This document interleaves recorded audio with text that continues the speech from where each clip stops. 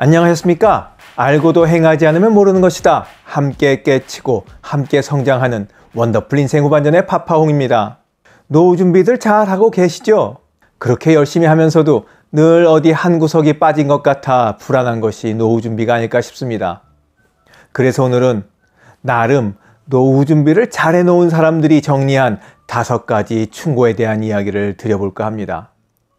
지금 하고 계신 것을 점검하는 차원에서 들어봐 주시기 바랍니다. 노후 준비를 잘 해놓은 사람들은 다른 이들에게 어떤 충고와 제안을 할지 저도 궁금하네요. 자, 본격적인 이야기 지금 시작합니다.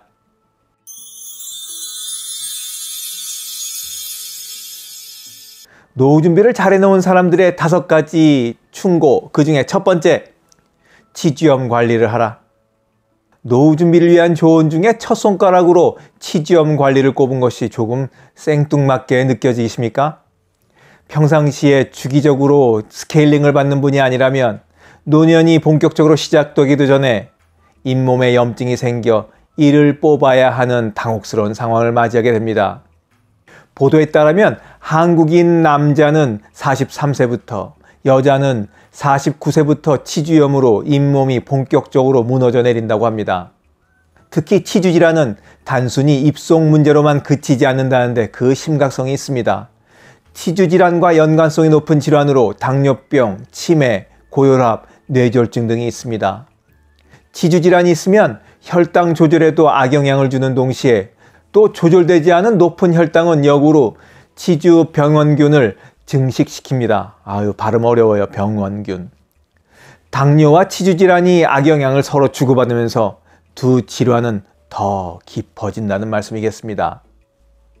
특히 우리가 겁내하는 치매도 치주 질환균에 의해 야기되고 악화될 수도 있습니다.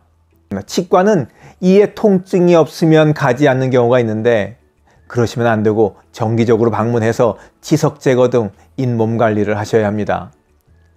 그리고 평상시에도 칫솔질과 더불어 치간 칫솔과 치실을 꼭 사용하시기 바랍니다. 노후 준비를 잘 해놓은 사람들의 다섯 가지 충고 중 두 번째, 돈 공부는 기본 체력이다. 은퇴 이후 재정 능력이 떨어지면 인생 사는 것이 고역이 될 가능성이 높습니다. 돈이 최고라고 할 수는 없지만 기본 토대인 것만은 분명한 사실이죠. 절약해라, 아껴 쓰고 저축을 많이 하라는 식의 노후 준비를 하는 것은 금융자본주의를 살아가는 우리에게 충분하지 않습니다. 절약과 아껴 써서 저축을 많이 하는 건 노후 준비의 시작일 뿐이고 본격적인 사항은 아니죠. 노후 준비를 위한 재테크는 몸에 근육을 붙이는 것과 같다고 합니다.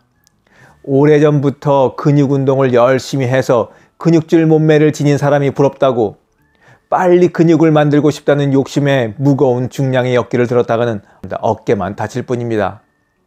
돈 공부도 하지 않고 꼬박꼬박 월급처럼 나오는 현금 흐름을 만들겠다는 생각에 귀동량으로 여기저기 투자했다가는 막차 타기 십상이고 돈 벌기는커녕 집어넣은 돈을 빼도 박도 못하고 돈을 더 넣어야 하는 신세가 될 수도 있습니다.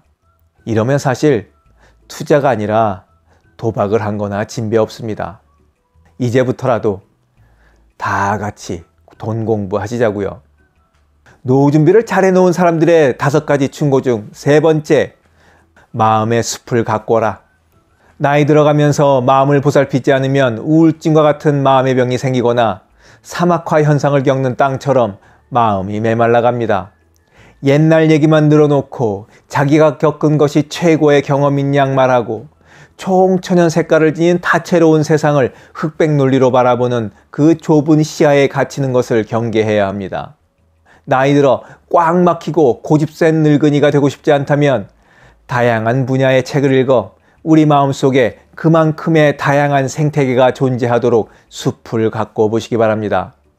자신의 전문 분야에 관련된 책만 읽으면 한 가지 전문 지식은 많을지라도 그 외에는 아는 게 없는 전문가 바보가 될 수 있습니다. 그래서 넓고 얕게 다양한 분야의 책 읽기가 필요합니다. 저는 지난 1년간 생소하기 짝이 없는 천체 물리학, 진화 생물학, 경제학, 지구과학을 비롯해서 세계사, 정보통신에 대한 책을 읽었습니다. 이런 독서를 통해서 세상을 보는 관점이 다양해지고 제 생각과 행동에 긍정적인 영향을 미치고 있음을 깨닫게 됩니다.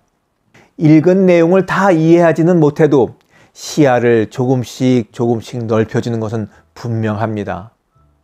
눈이 어두워 책 읽기가 불편하시다면 들을 수 있는 오디오북을 적극 활용해 보시기를 추천드립니다. 귀에 핸드폰을 꽂고 책 내용을 들으면서 걷기 운동하세요.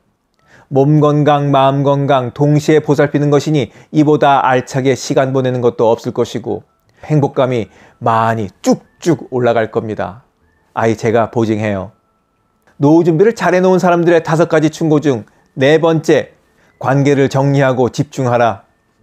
아이고, 저는 평생 동안 친구를 제 목숨이나 가족보다 중요하게 여기고 살았는데 친구들은 그렇지 않았나 봅니다. 그런 친구들에게 배신감이 드네요. 이제 친구라면 치가 떨립니다. 친구가 중요하다는 말씀 하지 마십시오. 친구를 주제로 한 제 영상을 보시고 한 시청자분께서 올린 글입니다. 아마도 이 글을 쓴 분은 친구들의 부탁이라면 가정생활도 다 제쳐두고 달려갔을 게 뻔합니다.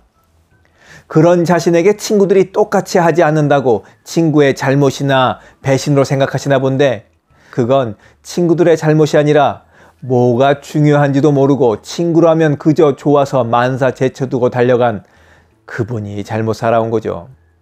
가정을 먼저 돌봤어야죠. 그리고서 자기 잘못은 모르고 친구를 탓하면 안 될 일입니다. 인생 후반전이 시작될 즈음 묵은 짐 정리하듯 인연을 맺고 있는 인간관계도 정리하는 것이 필요합니다. 그리고 남은 인생 동안 누구에게 집중을 해야 할지도 진지하게 생각해 보시기 바랍니다. 중요도에 따라 우선순위를 정하는 거죠. 인간관계에도 선택과 집중이 필요한 시기가 바로 인생 후반전입니다. 때로는 우선순위에 들어가 있는 중요한 사람과 관계를 회복해야 할 필요가 있을지도 모르겠습니다. 그렇다면 그 관계를 망가진 채로 방치하지 말고 용기를 내서 회복하시기 바랍니다. 배우자나 자녀들처럼 가까운 사람일수록 사과하기도 힘들고 이해하고 화해하고 회복하기가 여간 어려운 일이 아닙니다. 그래서 더 많은 용기가 필요한데 분명히 그렇게 해야 할 만한 가치가 있는 일이니까 방치한 채로 살아가지 마시기 바랍니다. 노후 준비를 잘 해놓은 사람들의 다섯 가지 충고 중 마지막 다섯 번째, 혼자 놀아도 지루하지 않을 장난감을 준비해라. 여러분은 무슨 장난감을 갖고 계십니까? 저는 영상 만들기, 네이버 카페 운영하기, 글쓰기, 그리고 기타 치기가 요즘의 제 장난감입니다. 이것들과 두루두루 하나라도 빠지지 않고 놀려면 하루 해가 짧습니다. 노후를 재밌게 보내기 위해서는 혼자 놀아도 시간 가는 줄 모르는 나만의 장난감, 즉 취미 생활이 꼭 필요합니다.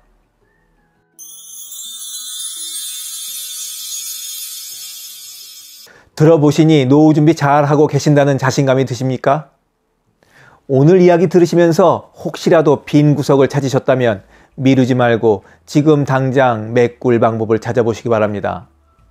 노후 준비를 잘 해놓은 사람들이 드리는 다섯 가지 충고는 첫 번째, 지주염 관리를 해라. 두 번째, 돈 공부는 기본 체력이다. 세 번째, 마음속에 숲을 가꿔라. 네 번째, 관계를 정리하고 집중하라. 다섯 번째, 혼자 놀아도 지루하지 않을 장난감을 준비해라. 이렇게 다섯 가지입니다. 영상을 보신 모든 분들이 아주 탄탄한 노후 준비로 인생 후반전에서 진짜 전성기를 누려보시길 바라면서 오늘 이야기 마치도록 하겠습니다. 원더풀 인생 후반전에 멋지게 나이 먹기는 계속됩니다. 감사합니다. 자랑질, 지적질, 아는 채, 있는 채 하는 사람들에게 지치셨죠? 상대방의 얘기 경청하고 익은 벼처럼 겸손한 사람들이 모인 곳이 있습니다. 바로 네이버 카페 실버들의 전성시대입니다. 너무 가깝지도 너무 멀지도 않은 친구가 필요하다면 네이버 카페 실버들의 전성시대로 오시면 됩니다.